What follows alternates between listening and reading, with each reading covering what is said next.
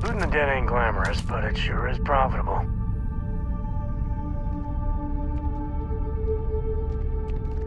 I could uh, really bend your ear when you got a moment.